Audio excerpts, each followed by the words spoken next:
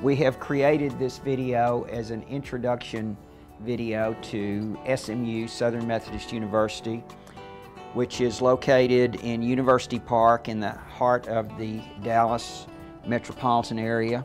It serves approximately 11,000 students that study many different areas.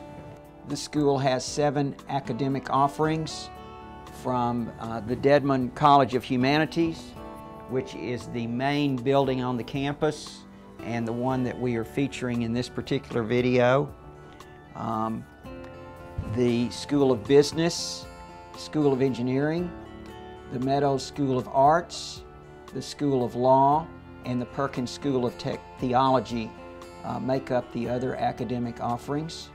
The school was actually founded uh, by what is now the United Methodist Church in 1911 and it officially opened in 1915. In fact, the Highland Park United Methodist Church occupies the southwest corner of the campus and the campus uh, serves approximately 11,000 students.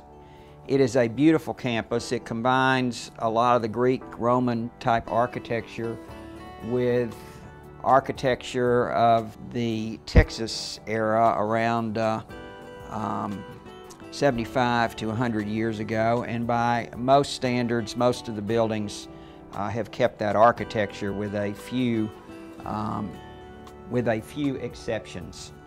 The campus is absolutely gorgeous particularly this time of year when so many of the plants are blooming. Um, it is a uh, reasonably uh, large campus. There are 101 buildings which occupy about 237 acres. The school serves the Dallas area as far as students are concerned. It also has students from across the United States of America and many, many international students.